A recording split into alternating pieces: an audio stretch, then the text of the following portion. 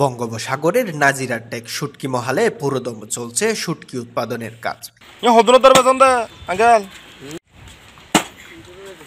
এই মহালে বঙ্গোপসাগর থেকে সংগ্রহ করা ছোট বড় বিশ থেকে পঁচিশ প্রজাতির মাছ শুকানো হচ্ছে আর এই কাজে নিয়োজিত রয়েছে প্রায় বিশ হাজার শ্রমিক। শুটকি ব্যবসায়ীরা বলছেন, প্রতি মৌসুমে শুধুমাত্র নাজিরার টেক শুটকি মহালে মাছের গুঁড়া সহ পঞ্চাশ থেকে ষাট হাজার টন বিভিন্ন জাতের শুটকি উৎপাদন করা হয়, যার বাজার মূল্য প্রায় দুইশত কোটি টাকা। দেড় লাখ টাকা, দুই লাখ টাকা, পাঁচ লাখ টাকা আনি শহরত দি, শহরত তো আবার বেশি করে আনি আনি আবার ডেলি কিনি, এই মাসকে মাস আর ব্যবসা লাখে দশ হাজার, পাঁচ হাজার, কুড়ি হাজার আর লেবারও দিন আর নিজেও চলি, নিজেও হাই আর খুব সুন্দর করে উৎপাদিত এসব শুটকি দেশের চাহিদা মিটিয়ে রপ্তানি করা হচ্ছে বিদেশেও। কক্সবাজার শহর থেকে তিন কিলোমিটার দূরে বঙ্গোপসাগরের পাশ ঘেঁষে একশো একর বালুচর জুড়ে গড়ে তোলা হয়েছে নাজিরার টেক শুটকি মহাল। শুধুমাত্র সূর্যের তাপে বিভিন্ন ধরনের মাছ শুকানো হয়। তবে পোকামাকড় থেকে রক্ষা এবং স্থায়িত্ব বাড়ানোর জন্য এসব শুটকিতে ব্যবহার করা হচ্ছে বিভিন্ন ধরনের কীটনাশক, যা স্বাস্থ্যের জন্য খুবই ক্ষতিকর। রোদে শুকানো হচ্ছে এই শুটকি শুধু নাজিরার টেক নয়, প্রতি বছরের মতো শীতের মৌসুম শুরু থেকে মহেশখালীর সোনাদিয়া দ্বীপ টেকনাপের শাহপরীর দ্বীপ, সেন্ট মার্টিন, কুতুবদিয়া সহ জেলার উপকূলীয় বিভিন্ন শুটকি মহালে শুটকি উৎপাদন শুরু হয়েছে। সাগরের বেড়িভাত এবং বিশেষ উপায়ে তৈরি বাঁশের মাচার উপর পাতলা করে বিছিয়ে সূর্যের তাপে কাঁচা মাছ শুকিয়ে শুটকিতে পরিণত করা হয়। সম্প্রতি নাজিরার টেক শুটকি মহালে দেখা যায়, প্রতিটি শুটকি মহালে শ্রমিকরা ব্যস্ত সময় পার করছে। কেউ মাছ পরিষ্কার করছে, কেউ মাছায় তুলছে। শুটকি শ্রমিকরা বলছেন, নভেম্বর থেকে এখানে শুটকি উৎপাদন শুরু হয়েছে। এখন পুরোদমে উৎপাদন চলছে।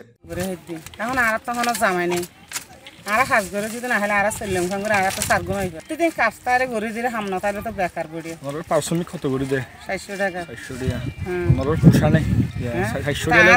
আরা সদরে কি করব? আরা হষ্ট করে হাত দিলে সদর তো মাছাইলে আরা ঘুরি সদর তো মানুষ হলে আরা নগরে বইরে থাকে। ধরুন হাঁস প্রতিদিন তো ফানো যায়। সপ্তাহে পাঁচ দিন ছ দিন হাঁস পাওয়া যায়।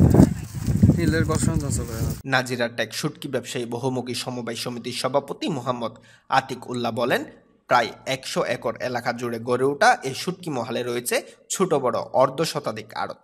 দেশের সবচেয়ে বড় শুটকি মহাল হলো এই নাজিরার টেক এখানে ব্যবসায়ীও আছে প্রায় দুই হাজার। আমাদের বাপদাদার পেশা আমরা আমাদের বাপদাদাও এটা করতো।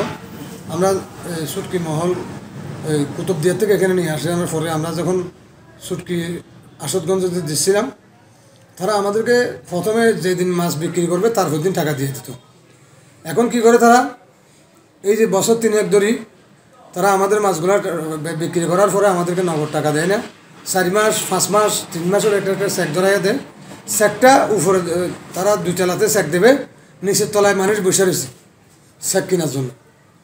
সেটা আবার নিচের তলায় ক্যাশ টাকা দিয়ে চেকটা কিনে নেয়। তাহলে আমাদের এক- একটা চেক যদি মনে করেন পাঁচ লাখ টাকা তারা দিছে সেটা যদি তিন হাজার টাকা করে কম হয়, তাহলে কতটা? পনেরো হাজার টাকা চলে গেল। আমাদের ক্যাশ টাকা দিচ্ছে না আমাদের যারা ব্যবসায়ীরা লাভ করছে এই টাকাটা ওইদিকে চলে যাচ্ছে আর কি। সমস্যা প্রতিদিন দশ হাজার বেশি শ্রমিক কাজ করে শুটকি মহালে। এতে বেশিরভাগ স্থানীয় হলেও রয়েছে রোহিঙ্গা নাগরিক। ব্যবসায়ী থেকে জানতে চাইলে তারা জানান শ্রমিক সংকটের কারণে রোহিঙ্গাদের কাজে লাগানো হয়েছে। তারা দিয়া ঠিক মতো দিতে লেগে ওনারা পারিশ্রমিক নাকি হনতরা ডিস্টার্ব করে নিউজ ফেস বিডি কক্সবাজার।